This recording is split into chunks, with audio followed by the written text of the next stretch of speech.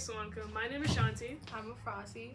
Today is Tuesday, October 17th, and a day one. And today, and here are today's announcements. Drama Club will have their first meeting today in room 225 immediately after school. Please be prompt. Any question, please ask Ms. Lamb and Ms. Fitzmans in the English department. Elections for student council and class board are on November 2nd. Please speak to your class advisor or student council advisors if you are interested in running.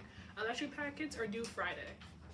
Next week is Red Ribbon Week sponsored by SAD. Each day there will be a different theme or activities. Check out the full schedule here.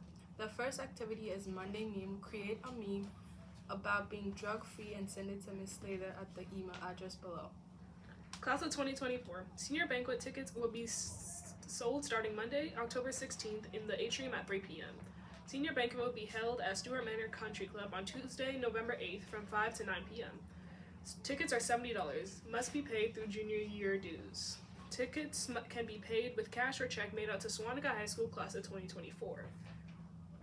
Additionally, Senior Dues Week is here. Early bird dues payment can be made to our class advisors this week in the atrium at 3 p.m. Dues can be paid with cash or check made out to Sewanhaka High School class of 2024. Senior dues are $90. Have a great day, Sewanhaka.